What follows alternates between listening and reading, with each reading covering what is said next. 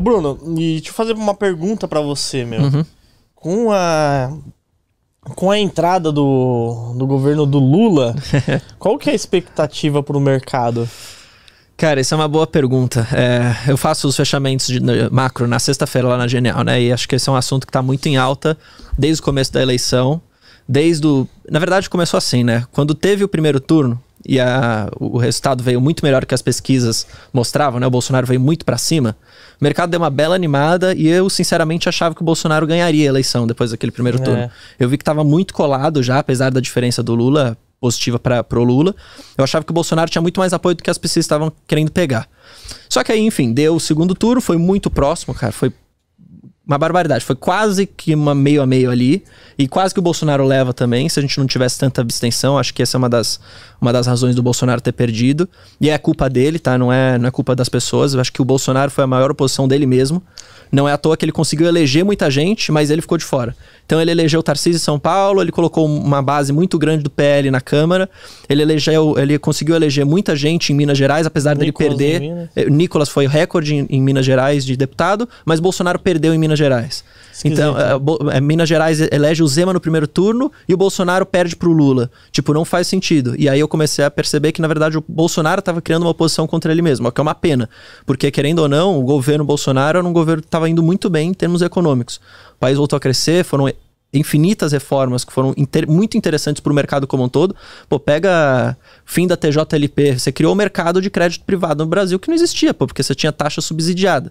Então aí você começa a criar um, um mercado novo, você traz emprego, você traz investimento, e o governo estava muito bem preparado por, com isso, né? Graças também ao Paulo Guedes.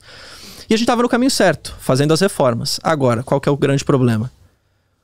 O que eu vejo, né? O Lula, ele é um cara PT raiz. O que, que é o PT raiz? É aquele é o partido que acredita que você gastando mais, você faz com que o país cresça.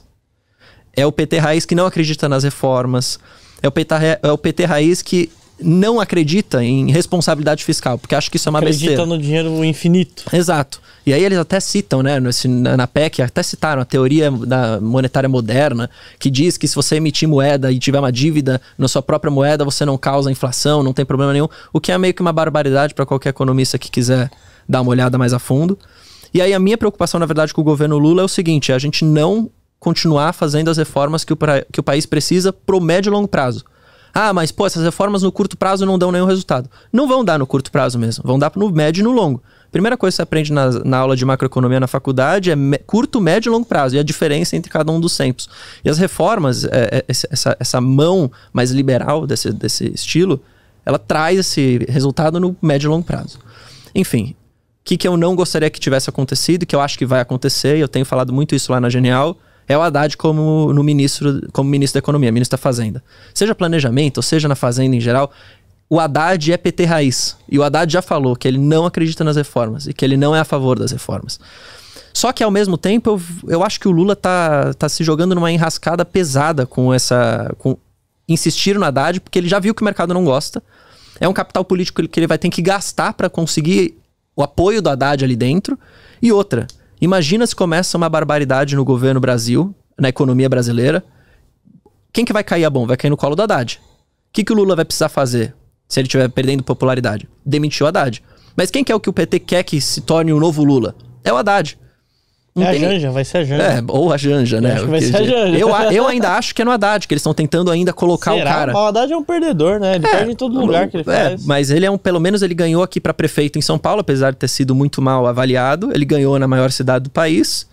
E ele tem essa, essa expertise política já, né? Já foi do executivo na prefeitura, tentou o governo, tentou a ministro da previdência. Né? Então, eu ainda acho que o PT quer tentar emplacar o Haddad. Só que é uma pena, porque o Lula gastando capital político agora e, sei lá, demitindo o Haddad, isso é é uma bomba dos dois lados. Eu gostaria que o Lula tivesse vindo mais ao centro.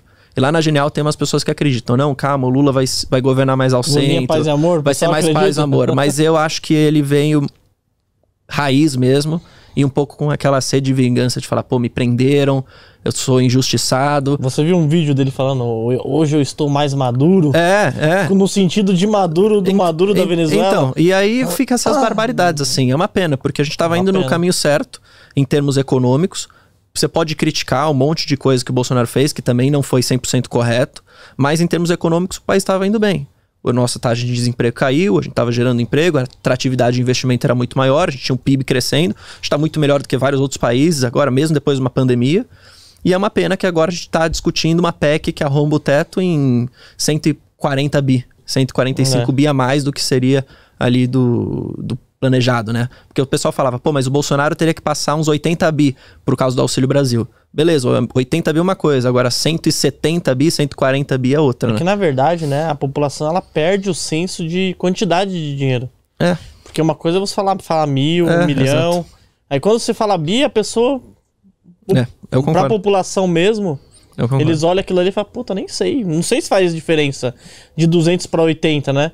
Ele, ele pensa que é reais, tá ligado? Mas Ele faz. ele Pode ter certeza que Não, faz. com certeza. Ele